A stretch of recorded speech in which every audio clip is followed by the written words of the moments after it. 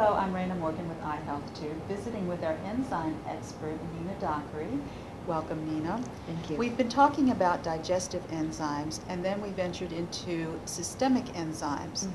They act as anti-inflammatories, right, in our system? Right, right. Well, they work with our, our body's own processes to, um, to help ameliorate uh, the inflammatory process. Okay, well, let's talk about fibrin. So is there good fibrin and bad fibrin?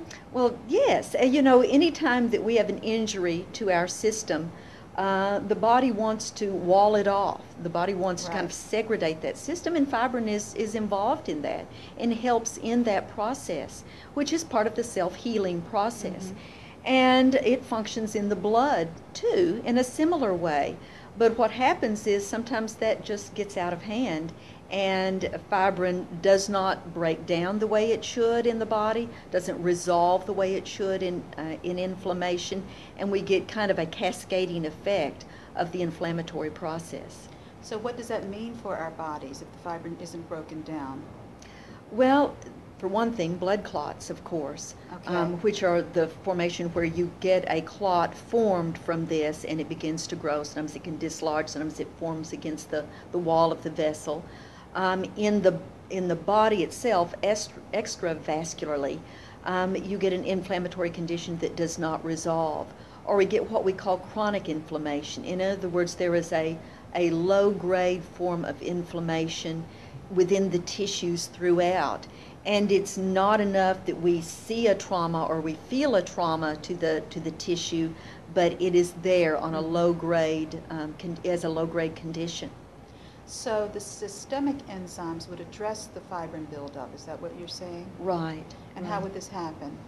Well, not sure exactly the processes that are involved, but somehow what is in, impacted are these pro inflammatory messengers or systems um, called cytokines, Mhm. and particularly one called TNF alpha. And the enzymes somehow have an effect on TNF alpha in the system in helping to um, slow down or resolve that inflammatory process. So when you say a systemic enzyme, you're saying an entire array of enzymes or one specific enzyme? Um, generally, they are protea- proteases, or they are protein digesting enzymes. So, because fibrin is a protein, Mhm. they are ones that can function to help to break that down or resolve that inflammatory condition uh, that is um, produced by a buildup of these proteins, these types of proteins. And this is to address inflammation? Yes. So Nena, in summary, could you tell us about the different areas of inflammation?